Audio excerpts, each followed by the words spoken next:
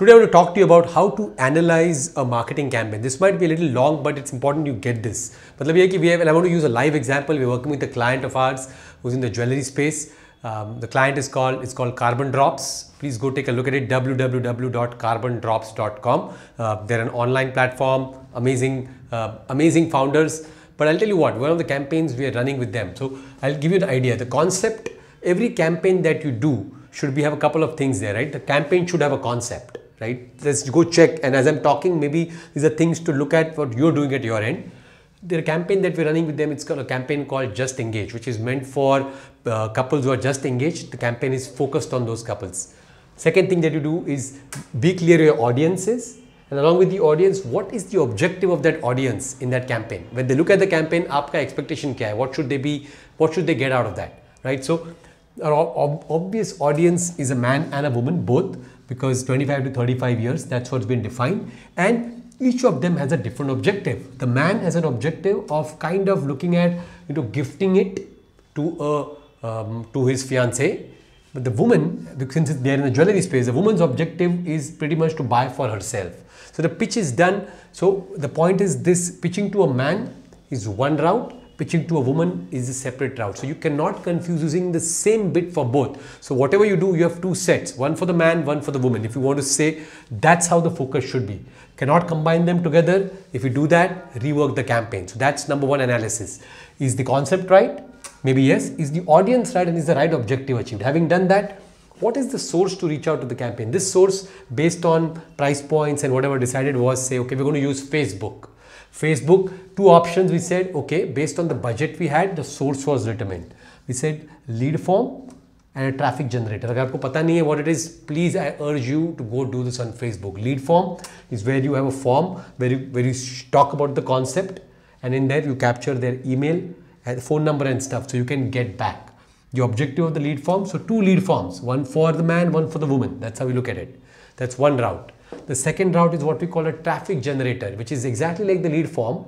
But after seeing that stuff, you don't enter the details, you click on that part or a link which takes you to a landing page. So these are two different options in which leads can be generated.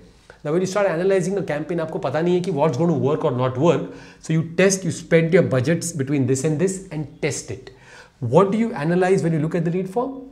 First thing you really, really analyze that you got to do when you look at the lead form is you know, is the lead form. If it is, if you're not getting, when you look at your Facebook analytics, you're going to track the cost per lead.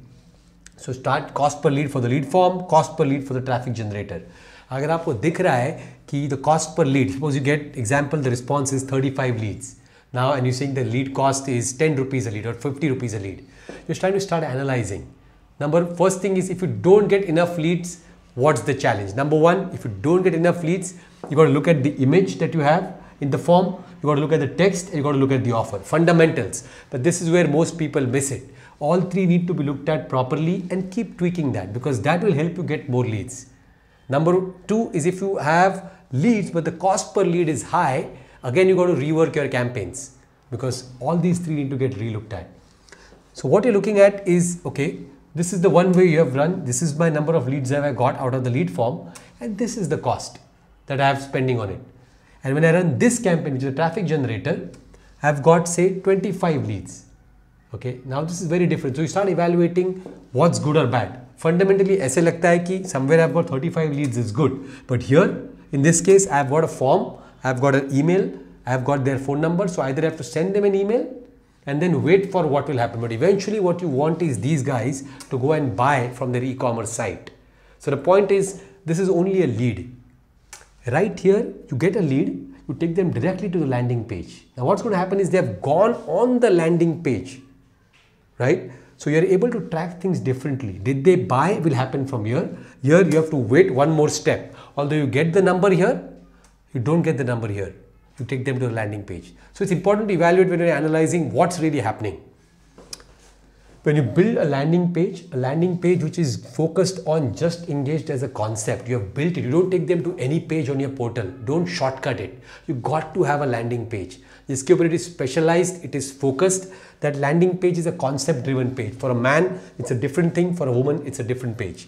Once you build that, when somebody comes on the landing page from this traffic generator, what do you do next? What do you do next really? You have to wait and wonder why is the person not buying or is buying. Since if he's come on this page directly from a traffic generator, which is a link, you do not have his name, you do not have his details. So what's the way to capture? You put a pop-up form which comes up on the site. The pop-up form captures says, okay, please give us your name and number because we're going to give you a promo code that's going to be there. So once the name and the number is captured, the promo code gets showed right there and then. So it's important that you've then at this step captured it. Now you still got to go and look at the analytics. Go look at it saying, okay, how much time is that person spending on the page? You realize they spend two minutes on the page, but nothing is happening. They're not buying. So where is the challenge? You got to go validate the design. You got to validate the pop-up page and you validate the product itself. The point is two multiple validations have happened here. Understand what we have done. You have validated concept all the way till execution, end of it.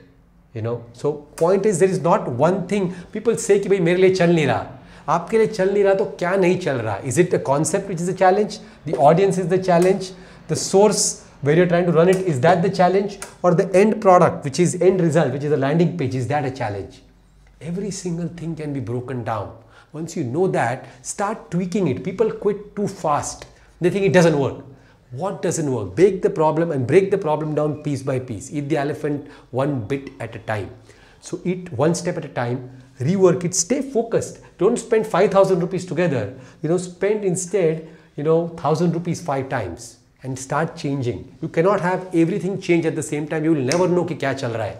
Keep some parameters fixed and start tweaking top down and see where you get the results. If you need to know more about how analyzing your campaigns, let us know. We would love to be of help. You know, I think this is something that we specialize in. We would love to help you achieve your marketing objectives. So go make it happen for yourself or talk to us and we can help you. Thank you.